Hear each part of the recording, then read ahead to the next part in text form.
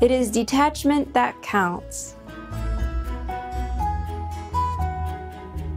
One day, a master told his disciple to deliver a meal to a person who was in retreat at another place.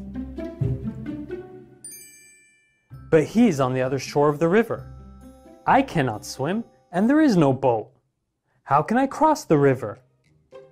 I do not have the great magical powers that you have. When you reach the side of the river, say to the river, Quickly part the water, and let me go across.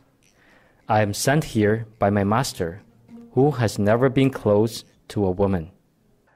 Oh, it is so strange. My master has a wife and three kids. How can he say this?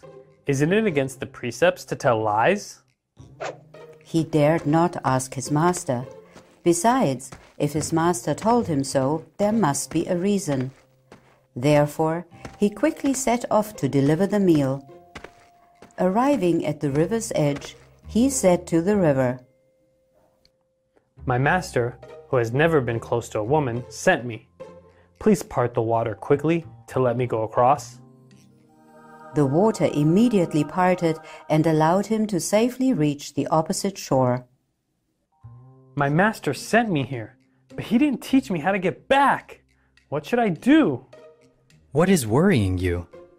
How do I cross the river to get home?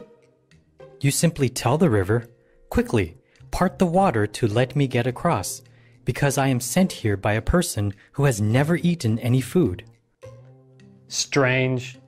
I saw with my own eyes that he has eaten a full meal, yet he told me to say such things to the river?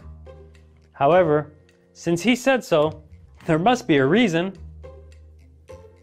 Accordingly, he yelled these words to the river, and the water parted again. That was truly incredible to him. So when he returned, he asked his master for an explanation. What you see is only my outer appearance, but it is not my heart. On the outside, I have a wife and kids, but my heart, my real person, is not here. I am not attached to anything. As for my friend who is in retreat, it is also true for him to say that he has never eaten any food.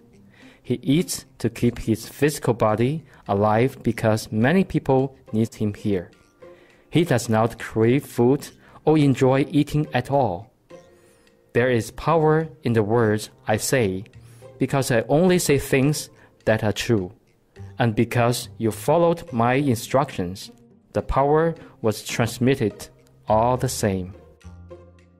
Enlightened beings are forever with the Tao, or truth, which is always still.